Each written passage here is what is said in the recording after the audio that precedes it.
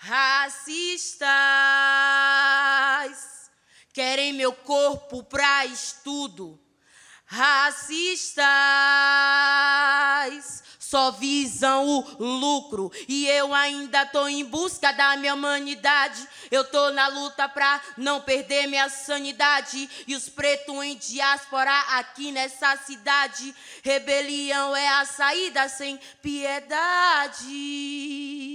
Vocês, vocês não sabem de nada. Vocês nem enxergam o tamanho da desgraça. Violência obstétrica para uma só raça. Enfermeira que nem te reconhece como humana e culpabiliza pela causa. Médico que mata a vida para ser menos um na massa. Médico que mata a vida pela quantidade que a vítima porta melanina. Sem perdão, mulheres que abortam sofrem tortura psicológica, lógica do Estado cristão. Pretas, preteridas, feminicídio, menos um analista. Ellen Moreira. Pretas, preteridas, feminicídio, menos um analista. Cláudia, arrastada. Vocês, vocês não sabem de nada. Pornografia incentivada. Crianças parindo mão de obra barata. Necropolítica. Para preto e pobre. Cuidado, você pode ser o próximo na lista. Observa. Várias formas de genocídio. Hospitalar, alimentar. Oito horas esperando atendimento.